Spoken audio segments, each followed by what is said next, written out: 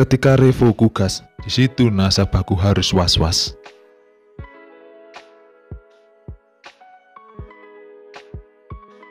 Ciao, bentornato nel canale Automotive Centris. Halo geng, gimana nih kabar kalian semua? Semoga kalian selalu dalam keadaan sehat ya, tanpa kekurangan satu apa pun dan semoga kalian selalu dalam lindungan Tuhan Yang Maha Esa, Allah Subhanahu wa taala. Amin amin ya rabbal alamin ya, geng. Honda Revo tuh kalau nggak salah pertama kali muncul di Indonesia sekitar tahun 2007-an ya guys dan pada awal kemunculannya itu emang sih motor ini langsung menarik minat dan perhatian masyarakat Indonesia khususnya para pecinta motor bebek.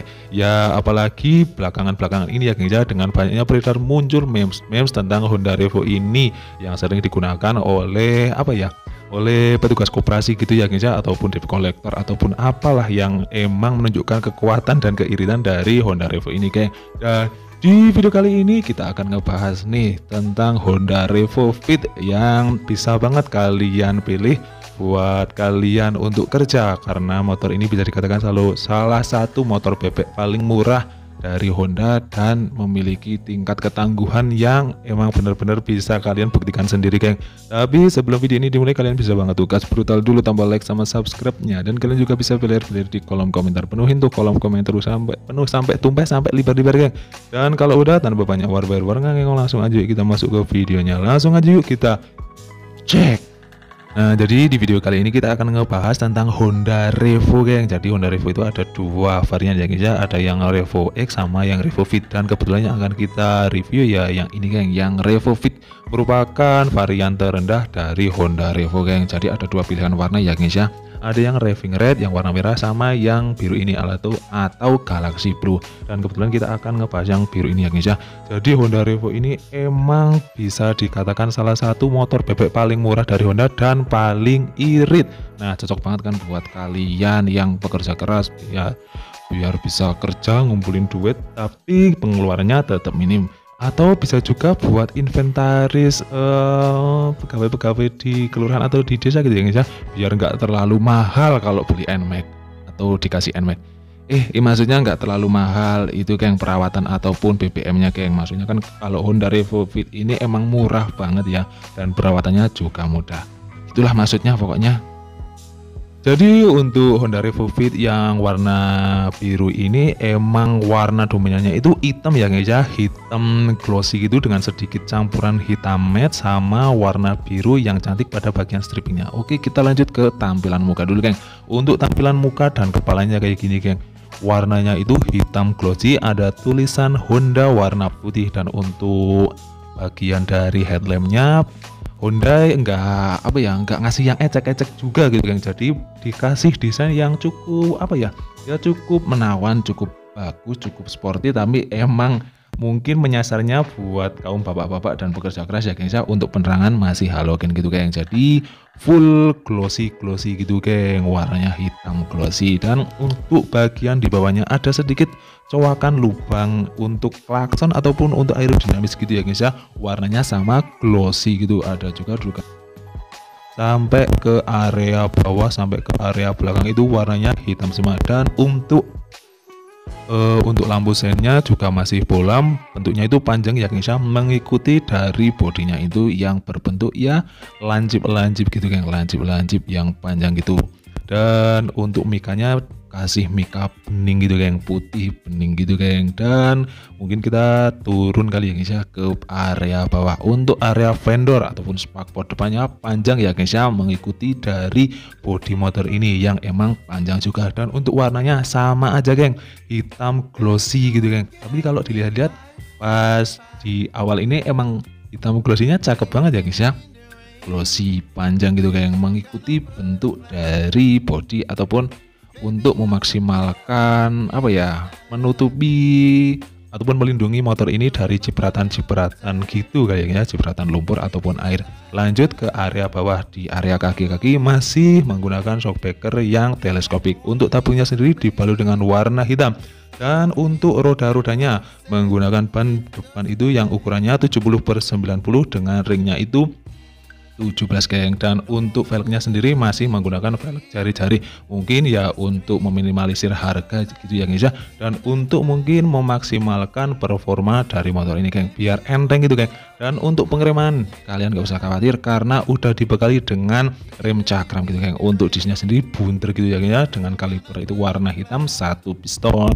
Oke lanjut. Kita ke area dashboard ataupun firing firing gitu ya guys ya dan untuk area firing di samping ini ada sedikit pemanis warna biru, biru muda sama biru tua bercampur dengan tulisan Honda warna putih. Dan untuk menegaskan kalau ini udah fuel injection ada tulisan FI warna putih gradasi warna abu-abu tua gitu geng jadi untuk warnanya itu emang kombinasi hitam yang dominan banget putih sedikit-sedikit gitu sama biru-biru manis gitu geng.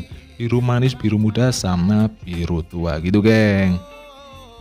Oke lanjut. Sekarang kita menuju ke area kokpit nih tampilan dari kokpitnya. Untuk speedometernya sendiri tampilannya kayak gini geng ya emang masih analog ya geng.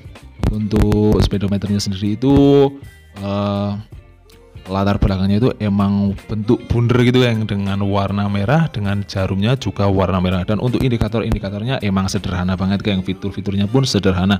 Hanya ada indikator netral lampu dekat lampu jauh untuk uh, gigi maksimal lampu sen terus engine check gitu ya gengs ya dan ada logo Honda di bawahnya geng. Dan untuk panel-panel di area stang untuk area kiri ada lampu dekat lampu jauh lampu sen sama klakson geng.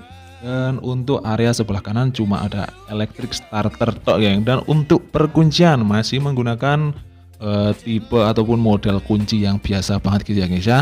Nggak ada pengaman kunci apa pengaman magnet gitu nggak ada. Emang masih ya biasa banget gini geng Ya mungkin untuk menekan harga kali ya guys ya. Oke lanjut kita menuju yang empuk-empuk. Untuk joknya sendiri dibagi dengan jok warna hitam geng. Nih tampilan dari joknya kayak gini geng. Dan untuk di bawah joknya sendiri ada bagasi yang gedenya itu sekitar 7 literan. Ya cukup lumayan lah ya ya. Bisa nyimpan-nyimpan jas hujan ataupun nyimpan-nyimpan ya barang-barang sepele kalian geng dan untuk tangki BBM-nya sendiri itu mampu menampung sekitar 4 literan, geng.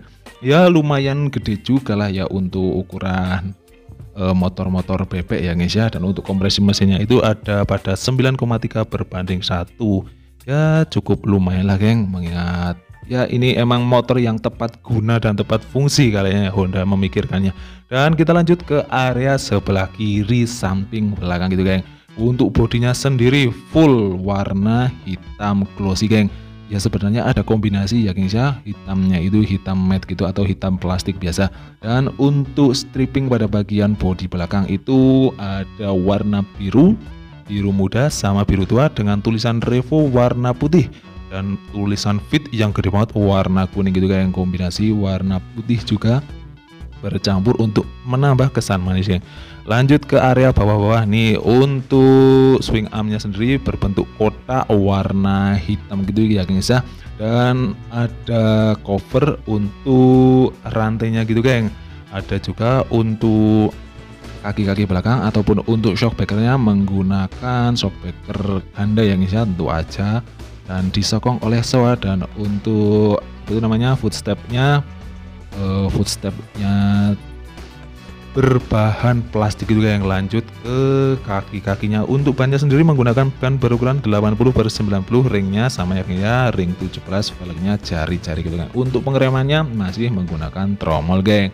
Dan untuk knalpotnya sendiri biasa warna hitam silencer warna hitam tapi diberi pemanis ataupun diberi cover dengan dilapisi dengan chrome sehingga menambah kesan manis.